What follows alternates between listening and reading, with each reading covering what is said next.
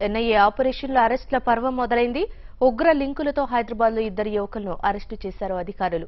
పాత బస్తీలో ఆకస్మిక సోదాలతో ఆపరేషన్ మొదలుపెట్టిన ఎన్ఐఏ ముప్పై మందికి పైగా యువకులను విచారించింది. కీలక ఆధారాలు సేకరించిన ఫోరెన్సిక్ ల్యాబ్కి పంపించింది.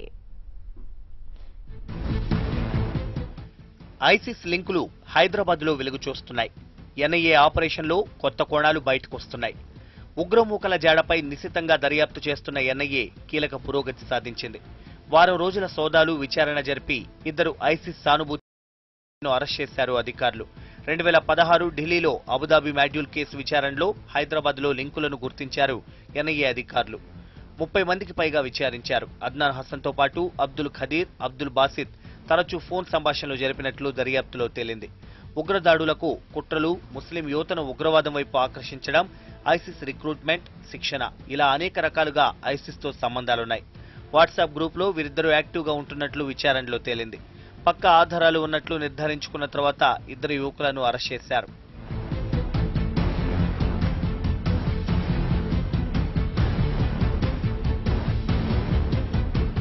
ఎన్ఐఏ ఆపరేషన్ దాదాపు వారం పాటు కొనసాగింది. మొదట అద్నాన్ హసన్ ఇచ్చిన సమాచారంతో ఈ నెల ఆరున హైదరాబాద్లోని పాత బస్తీలో ఆకస్మిక సోదాలు చేశారు. పలువురు అనుమానితులను అదుపులోకి తీసుకున్నారు. ఆ తర్వాత రోజు నుంచి యువకులను ఒక్కొక్కరిగా విచారణకు పిలిచారు. అందులో అబ్దుల్ బాసిద్ ఖదీర్ ఐసిస్తో యాక్టివ్గా ఉన్నట్లు ఎన్ఐఏ నిర్ధారించింది. దేశంలో విధ్వంసం సృష్టించేందుకు కుట్ర పనినట్లు వీరిద్దరిపై ఆరోపణలున్నాయి. ఐసిస్ కార్యకలాపాలను హైదరాబాద్తో పాటు దేశవ్యాప్తంగా ప్రారంభించేందుకు బాసిద్ ఖాదిర్ ప్రయత్నించారని ఎన్ఐఏ విచారణలో తేలింది. ఐసీసీలో తాజాగా ఏమైనా రిక్రూట్మెంట్లు జరిగాయా? ఎవరెవరితో వీరికి సంబంధాలున్నాయి అనే కోణంలో ఎన్ఐఏ విచారణ సాగింది. మరోవైపు సోదాల్లో లభించిన వస్తువులను ఫోరెన్సిక్ ల్యాబ్కు పంపించారు. అందులోని డాటా విశ్లేషించిన తర్వాత మరింత సమాచారం వెల్లడి కానుంది.